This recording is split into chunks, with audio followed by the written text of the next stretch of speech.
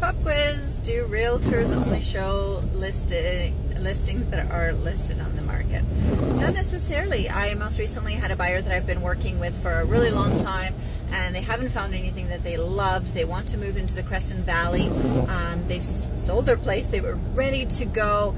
Uh, they just couldn't find the property that they liked so the husband needed a garage and she had specific requirements on the home and they just they just needed um, that specific home.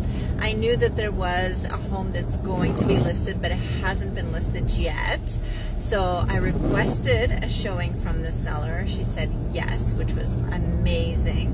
We went to see the home. They fell in love with it. So we put an offer in and they got an opportunity to buy a home that wasn't listed yet I got to find them something perfect, which makes me so excited and so happy.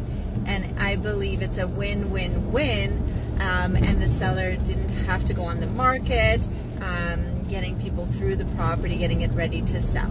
So it was truly one of those amazing situations where you can put a buyer and a seller together.